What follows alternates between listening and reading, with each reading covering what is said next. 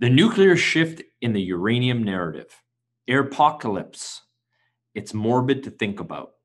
But one of the leading causes of death is air pollution.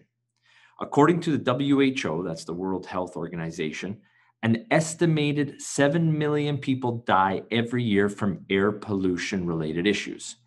Air pollution is caused by solid and liquid particles along with gases suspended in the air. By far, the largest contributor to air pollution comes from the world's electricity generation, namely burning fossil fuels. As the world becomes more focused on reducing its greenhouse gas emissions and heading to a net zero, change must start with the electricity sector. By the way, be sure to remember the catchphrase net zero. You're going to hear a lot about it in 2021. Did you know that coal fired power plants still make up over 30% of the global power generation?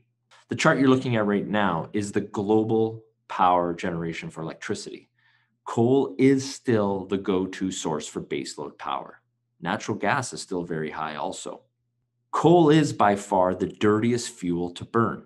It makes all the sense in the world that one of the first thing governments in the world are going to do is say, no more coal. I expect governments to force mass closures of coal fired power plants over the coming decades. However, while that sounds good on paper, how does one substitute new power generation for coal? After all, replacing 30% of the global baseload power production is not something that can happen overnight.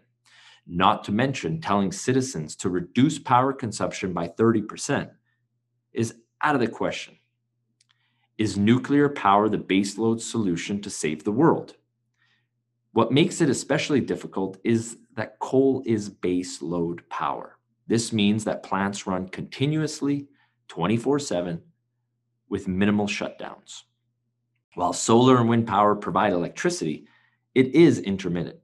Power is only generated when the sun shines and the wind blows. Yes, we can store it in large batteries, but we are nowhere near global adoption at utility scale batteries that are cost efficient. That day will come, but it isn't right now, nor within this decade.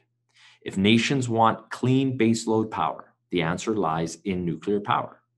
Nuclear power is powered by uranium. Nuclear power produces enormous amounts of clean energy. In fact, there are zero emissions. Climate crusaders will love that, no doubt. The chart you're looking at right now shows the carbon dioxide emitted per baseload power source. You can see nuclear on the far left at zero, natural gas, petroleum, and coal. Yes, petroleum is still used in certain parts of the world to produce electricity, as crazy as that sounds. I have been actively involved in the uranium sector for 20 years. I'm also the largest independent financier in uranium globally. I have been to the uranium mines that matter in the world. I don't know of anyone else in the industry that can claim that. The short report on uranium that made my subscribers a small fortune. Two years ago, I wrote a short report. In fact, the CFO of one of the world's largest uranium producers was even upset at me and shared his comments with me. I had many self acclaimed gurus and internet trolls attack my report. They all missed the whole point of the report. The report was about creating the worst possible scenario for uranium. And if my recommendations could do well in that framework, then I knew I had a winning portfolio of uranium stocks. So, how did Katusa Research do? Frankly, awesome. Here's the factual evidence. Here are the uranium focused peers, which include Cameco, Denison, Fission, NexGen, URC, EFR, and UR Energy which, by the way, I've been to all those assets. So the red line are the top of the uranium sector companies. The green line is the first KRO, which is the Katusa Resource Opportunity Stock. It beat the peers by just under 300%. The second KRO, the Katusa Research Recommended Stock Opportunity, is the blue line. It also just beat the index by just under 300%. The yellow line was the third time, and that was just under 350% gains.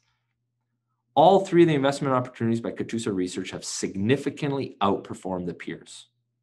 Most importantly, though, Katusa Research had zero losers in uranium. Remember what Warren Buffett said about there being two rules in investing don't lose money. And the second rule is don't forget rule number one. We didn't just beat the peers by a small margin, we're talking about multi baggers better. So I invested millions of dollars into these companies alongside my subscribers at the same time and the same price. As I mentioned, the first recommendation is up over 301%, and the stock trades heavy volume. And it's not some dinky exchange that trades by appointment. Liquidity matters. Remember that. Are these results typical for every investment, speculation, or trade? Of course not. But we did kick ass in uranium. But we've asked some of our most successful subscribers for feedback, and here's what they responded with. Greg H. wrote, He's up 19 grand in profit and said, I know I have benefited not only financially, but education as a smaller investor being given the opportunity. Other than that, thank you for everything. Another subscriber, Paul E, told us he churned 13 grand into just under 27 grand, doubling his money in a short period of time. I have been very impressed with everything. I have learned a lot. The analysis on the different markets and companies is light years from what I was seeing and doing. I would love to have a way my kids could learn this too. You are making me a better investor. Allowing stocks to gain weight, and we've seen incredible gains we've captured over the last 12 months. At the same time, uranium equities were as hated as they came, and patient investors are now being rewarded for buying what no one else was looking at. So, what's next for uranium? Today, the outlook for uranium is better than any time in the past decade. The reason? Wall Street and Capitol Hill is understanding that nuclear power can be the source of zero carbon emission baseload power. Recently, rumors are circulating that the EU, the European Union, will be announcing that nuclear qualifies as a green investment. This paves the way for enormous funding opportunities to build smaller, modular nuclear reactors with shorter construction and permitting times. It's a thesis that I've suggested for years and wrote about in my New York Times bestseller book in 2014. More recently, Bill Gates has also gotten on board with saying nuclear power will absolutely be politically acceptable game. It's safer than oil, coal, and natural gas. The reality is the nuclear narrative is changing. If nuclear qualifies as a green investment in Europe, it's only a matter of time before other regions take notice. In the United States alone, there's over 200 gigawatts of coal fired electricity generation in operation today. Coal fired electricity powers over 25 million homes in America. This represents 23.4% of US power electricity generation. And the US have improved significantly, as it was just a short while ago that 50% of America's electricity generation came from coal. So, for all those American haters, the US has made more improvements than any other first or second world nation.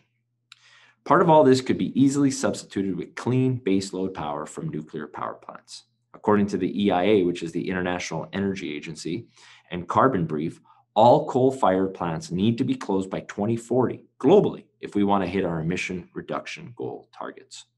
This means closing 100 gigawatts of coal fired power generation capacity every year for 20 years.